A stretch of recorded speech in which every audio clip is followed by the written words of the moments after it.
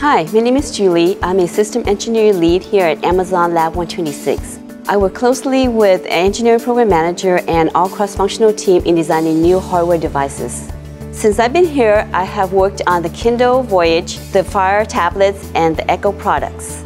My role is to make sure all hardware, software, mechanicals work well together and meets our compliance, reliability, and functional requirements. As a lead, I need to be on top of all technical issues, understand the system level enough so that I can deep dive with my team on technical challenges such as ESD. Electrical engineer leads needs to have a strong technical background and understand our leadership principles such as bias for action. I enjoy working at Lab 126 because I get a chance to design new and innovating products. We have great teamwork here. Everybody work really hard on a tight schedule to deliver high quality products. So come and join our hardware team and design new Amazon products.